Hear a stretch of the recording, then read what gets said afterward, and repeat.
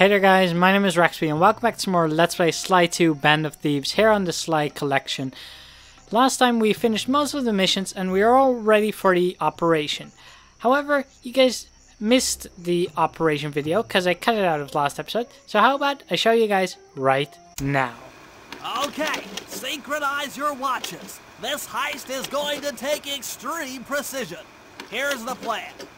I'll start things off by demolishing the palace's main bridge. That should cut off reinforcements from the guest house and hopefully distract the ballroom guards standing watch over the clockwork wings.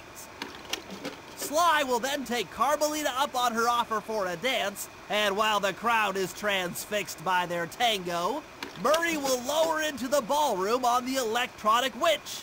Once down, he'll cut the wings free and then winch back up for an exit. Murray should then make his way out of the palace. I'll cover his exit with the RC chopper.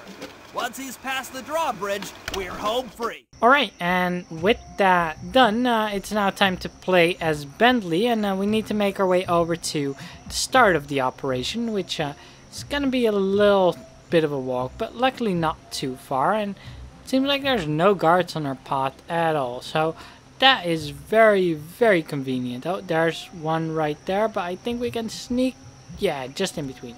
Alright, let's start. Bomb the bridge. Okay, Bentley. Murray and I are moving into position. You still think you can demolish something that large? It doesn't take an engineer to figure out how to blow up a bridge. I'll start by placing charges on all of the lower cleats. Once the structure destabilizes, those retainer rings on the upper cleats should pop right off. That should enable me to bomb all of the upper cleats, which will bring it all crashing down. Just watch your head when that thing gets unstable. We need that brain of yours in one piece. Oh yeah, we definitely uh, don't want Bentley to become uh, chunks of turtle soup or something. So, uh, first of all, we want to drop down here and then, well, using a triangle, just drop all of those bombs. And uh, we want to watch out because chunks of the bridge are going to fall down and uh, you can get hit by that. So you want to just be careful of that. It shouldn't really be too much of an issue though. And uh, once you're done, just jump up and, oh, jump up and it should crumble down. There we go. And now uh, we have a couple more that we need to take care of. Um, I'm not sure if I did that in the right order, but it should work out one way or another. I'm guessing. I don't think they would uh, force you to do it in a specific order. Wait, did I do this one yet? I, I'm not sure now. Uh, no, right, right. Those uh, are definitely not done yet. Oh, damn it, I fell down. Wait, three more to go? Come on, why aren't am I not hitting them? I dropped bombs on them for sure, but eh. I guess the placement wasn't accurate enough. But there we go. Okay, Sly, the bridge is down. I'll warm up the van and get ready with the RC chopper. Good luck. What? The bridge is destroyed? Take all the manpower you need and look into it.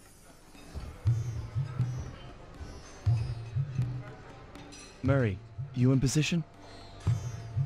Check! It looks like Bentley's little distraction did the trick. Initiate phase two. I'll take care of Carmelita and the crowd.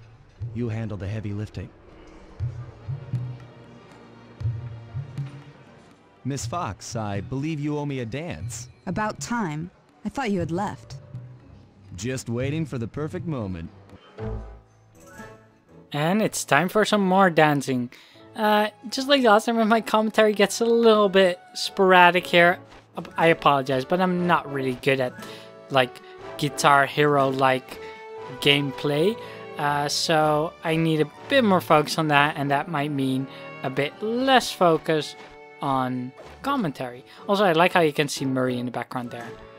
it's kind of funny how he's just hanging there, steadily getting closer to being lifted down. Circle, triangle, square now. Uh, circle, triangle, and square. You look familiar to me. Are you in law enforcement? I often deal with police while on the job. oh, Sly, you're so sly. Okay, that, that was kind of bad. But yeah, I, I just like like his clever response there. I mean, he, he's not lying. You know, he does deal a lot with police, especially Carmelita herself. But, I mean, honestly, it's her own fault for not recognizing him. Because it, it's not like he's that well disguised. Um,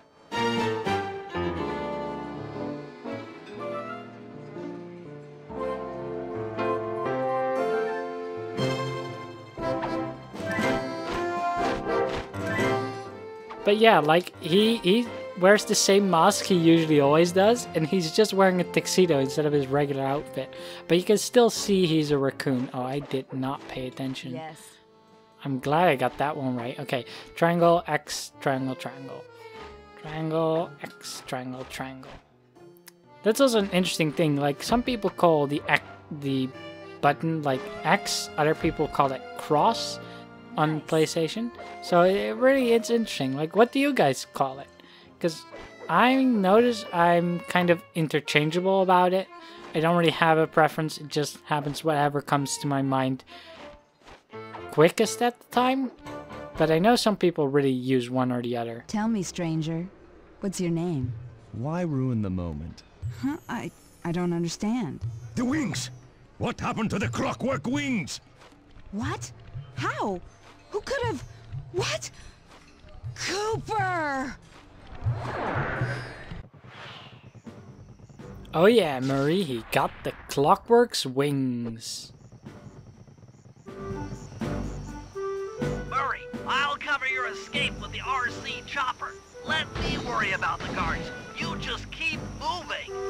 Yep, so now we're gonna uh, use the RC chopper to uh, guard Murray. It can be a little bit tricky uh, to do, but just uh, drop bombs on him or on his enemies, not on Murray himself. Poor Murray. That would be really bad if we drop bombs on him. But yeah, we should be good uh, as long as uh, you kind of keep following him. Oh, I should have been on there. I was just on time there. Oh, no, no, no. Those are gonna get him. Ooh, I am... I don't know how those didn't get him. I thought for sure I was screwed there. Oh, please. Sometimes it just moves so slippery. Like the RC chopper is always in movement and you can only like control the direction. And sometimes it just feels very slippery. I mean, it feels smooth in a way, but sometimes it feels like it's too responsive or it, it just moves too quickly and you don't have tight enough control over it. I mean, it's not a bad thing at all. Like, it, it, it's very much controllable still. You know, it, it's not bad controls, but it sometimes feels very like uh, it just turns so quickly, and you need to really almost anticipate uh, how, how quickly it goes. Punch it! That's a job completed. We got our second clockwork part. After the gang and I got away with the clockwork wings, Carmelita blew her cover and started making arrests left and right. With his reputation in shambles, Rajan was forced to flee from his own party. He's now in hiding, somewhere deep in the jungle. The gang and I took a break and headed for Bollywood. It took some doing, but we eventually snuck Murray onto the set of a full-blown Indian musical. I was happy the guys got to unwind, but Rajan was still out there.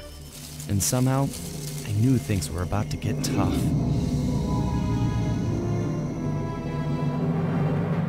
And with that, we have taken care of episode 2. But a fun thing here episode 3 still features the same villain. That's right, since we didn't beat Rajan, we're gonna have to go back. Uh, we're gonna go to an entirely new area, but the villain doesn't change. It is still Rajan. So let's start the episode and see all of them getting ready.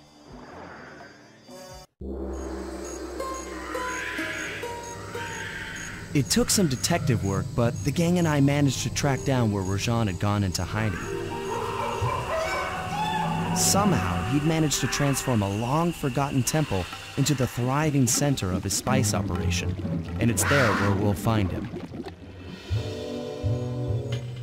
The jungle, too thick to drive through, forced us to walk the long distance to our target.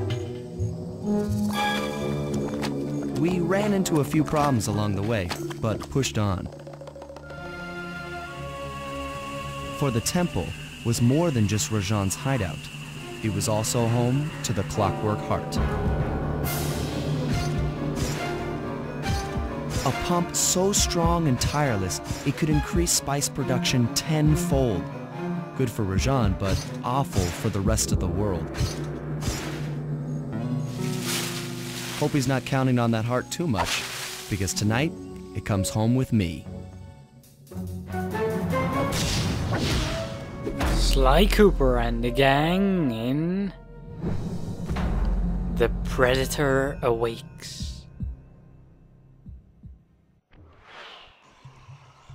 Right, well, let's uh, just get straight into it. I'm gonna go ahead and play a Sly now. And uh, yeah, we have an entirely new area here. Uh, there is gonna be one mission uh, to play right over there.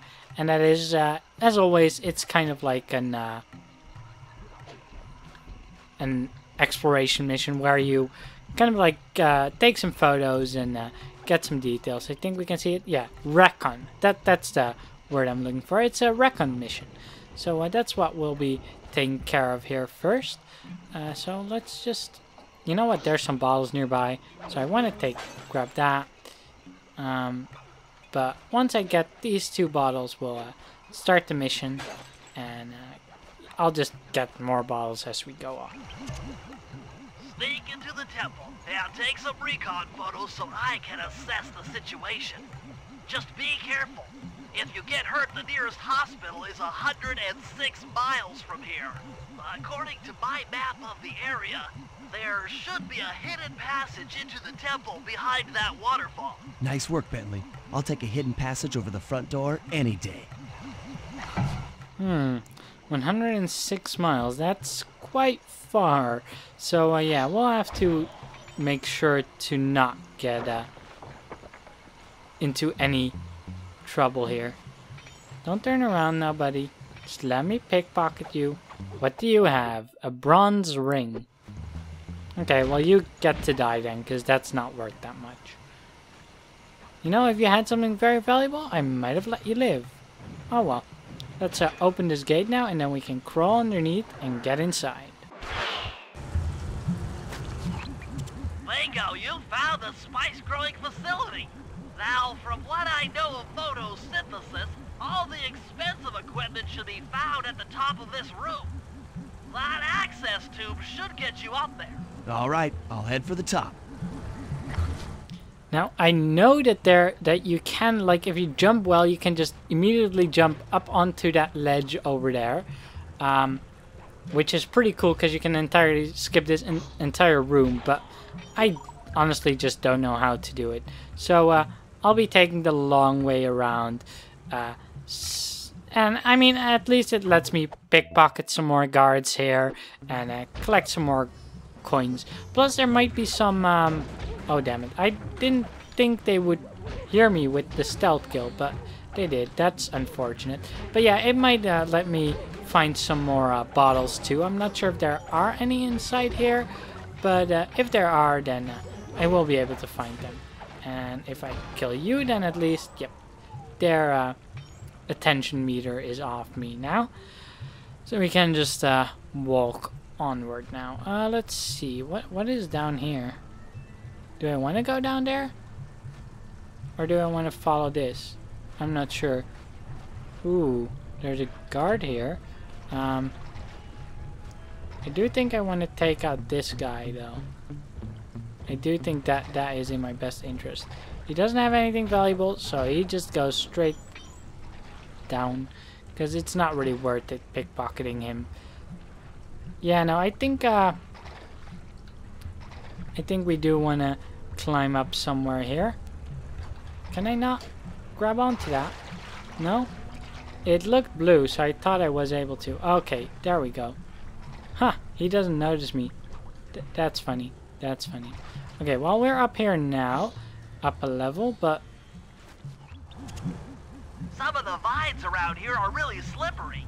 Jump and hit the circle button to go for a ride. thanks, Bentley. I uh, was about to do that. Yep, so we'll just uh, slide across this one. And that means that, oh, no, if we jump over it to this one now, we are there at the end. Good. Here we go. So, for a few it's now time to take some photos, and uh, this time I'm actually gonna let Bentley do the talking about the things, because he said some stuff, and uh, maybe it's interesting to hear. Looks like half of the heart is being used to super irrigate the spice plants. Alright, uh, next up is uh, Rajan himself, although I think it's weird that we need to take another photo. Check it out. Rajan's carrying half the clockwork heart on that stick. Alright, uh, let's see, what's over here? The crane controls. Hmm, that crane is keeping half of the heart suspended. And, uh, and one more thing is, of course, the entrance itself. There's the entrance to this level. Only I can't figure out how to get in here from the temple's exterior. Bring those photos back to the safe house. We'll really need to think about this one. Job complete.